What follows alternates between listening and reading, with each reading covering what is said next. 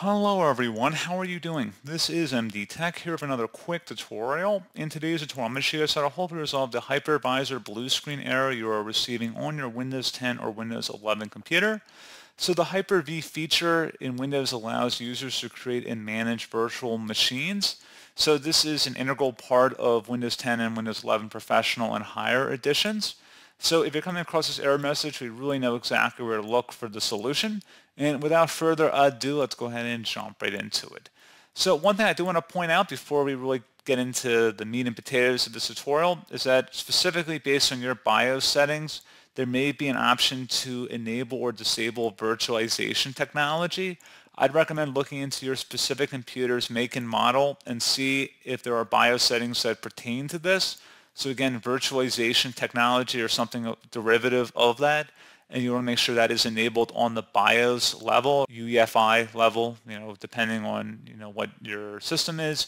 If you're running on supported hardware or not, that could make a little bit of a difference. So just keep that in mind, depending on how you upgrade it to Windows 11, of course. But anyway, now that we've kind of moved on from that, that's something we're not going to show directly in this tutorial. That's something you'd have to kind of figure out on your end because there's so many different possibilities of how to show that for different computer manufacturers. So with that out of the way, first thing you want to do is open up the search menu and type in CMD. Best match to come back with command prompt. Go ahead and right click on that and select run as administrator.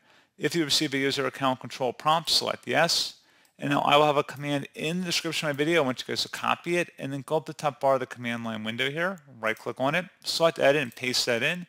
Once it says the operation completed successfully, go ahead and close out of here. And you should be able to just go ahead and restart your computer at this time.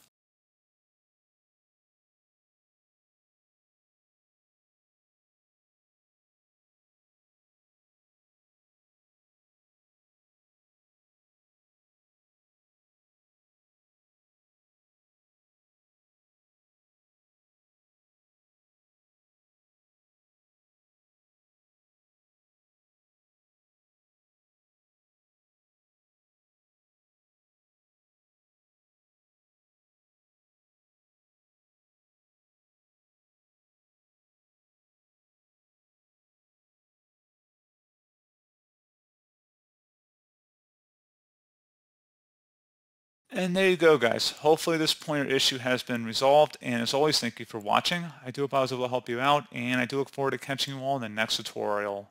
Goodbye.